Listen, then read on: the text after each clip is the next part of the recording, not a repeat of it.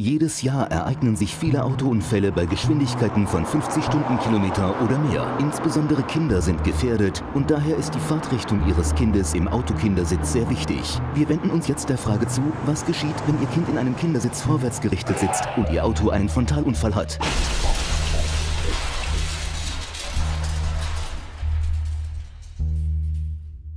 Wenn Ihr Kind vorwärts gerichtet sitzt, wirken große Kräfte auf den Schulter- und Nackenbereich sowie auf den Kopf des Kindes ein. Dies kann tödlich enden oder bleibende Schäden oder Verletzungen, wie beispielsweise eine lebenslange Lähmung verursachen. Sitzt Ihr Kind bei einem Frontalunfall rückwärts gerichtet, so verteilen sich die einwirkenden Kräfte über einen größeren Bereich des Körpers und die Belastung auf Nacken, Hals und Kopf ist wesentlich geringer.